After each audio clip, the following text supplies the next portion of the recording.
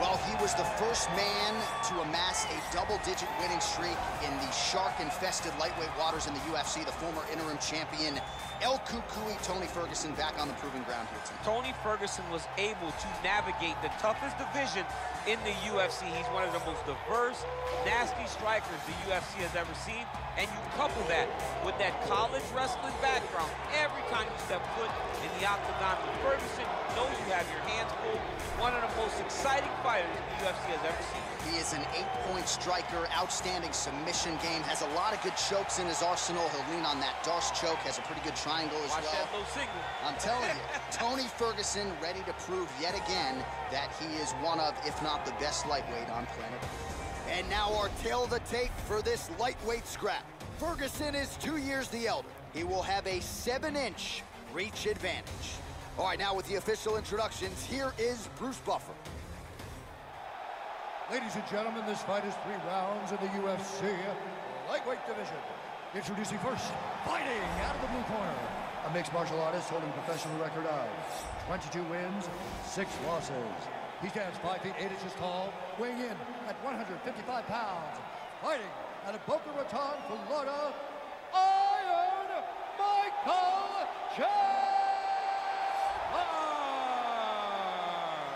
now introducing his opponent, fighting out of the red corner.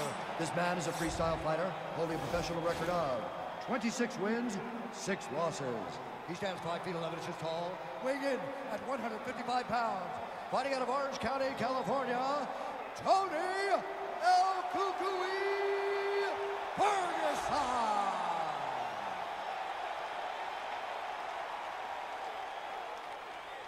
And when the action begins, our referee in charge, Herb Dean. Herb Dean, third man in the octagon for this one. Ready. Ready to fight. All right, so here we go with round one. The tension is palpable. On one side, we've got one of the more well-rounded fighters in this division taking on a true submission specialist. Yeah, he's taking on a true submission specialist. And when you talk about submission specialists, nobody matches up to this guy. He is that good at getting you to the ground and choking you out. Uh, really using his reach advantage there with that land, DC. He's very tricky he throws that body. Big, powerful punch lands. Now he gets back to range. They're certainly getting after it early. Oh, and he is getting tagged repeatedly. Nice combination of strikes up top. Oh, beautiful combination up top. I don't understand why the guy is not moving his head. Get your head moving, son. Well, perhaps a sign of things to come as he lands a kick there. Nice kick landed by this gentleman. Oh, that's a hell of a kick right there. He told us, oh! He's in trouble. He's hurt bad. Oh! Yeah, he's mixed it all up.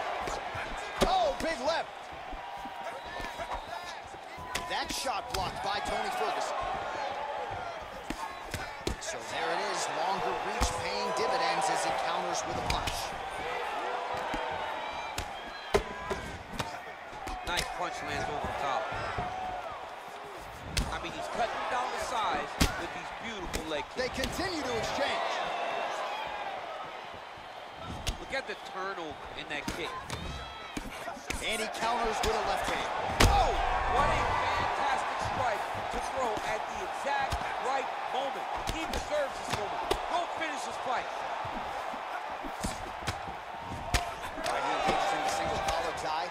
Oh, beautiful hook.